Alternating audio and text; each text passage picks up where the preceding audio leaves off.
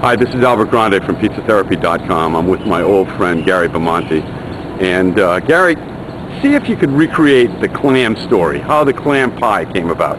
All right. Um, well, we're on the we're on the we're on the spot side of the restaurant, um, and there used to be a house in this parking lot that we made into a parking lot, and there was an alleyway here, and that's how you used to get into the spot.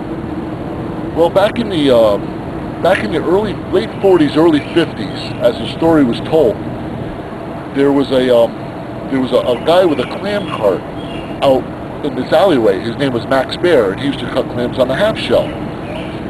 And uh, you know, the, the local the local guys used to come down there, hang out, they'd talk, and and my grandfather came out, and they started talking, and they just said, "Hey, Pop, why don't you put some of these on a pizza?"